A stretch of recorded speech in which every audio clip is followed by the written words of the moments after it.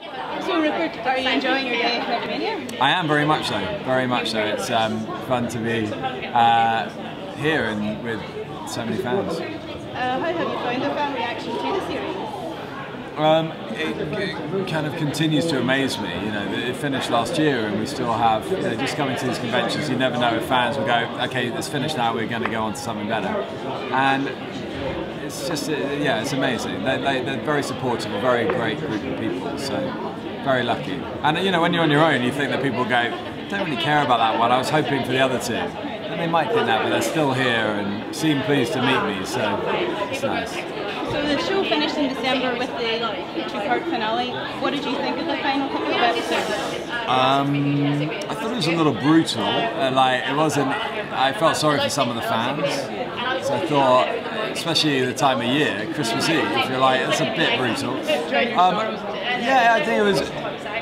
I thought they were very good. Like you know, they were as epic, the biggest fights we've seen, the biggest.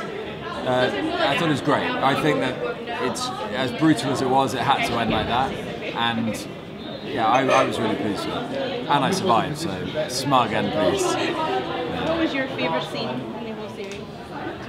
Um, all the battles I used to love. Um, any scene with Colin, to be honest, I loved doing because it was just it really challenged you. And, uh, and with Tony, I love doing scenes with him. So probably my first scene with Anthony and Richard and the tro- talking about the troll. That's probably my favourite because I was still new to it and it was fun. I actually did wonder how you kept a straight face with Colin Morgan as the older Merlin. Yeah, that, there's a lot of laughter, a lot of laughter, and that's what's great about this job is that we did laugh a hell of a lot. So, so Leon has a bit of a tendency to defy death, and as this has led to some fans thinking he's immortal, yeah. do you think he's immortal just really okay?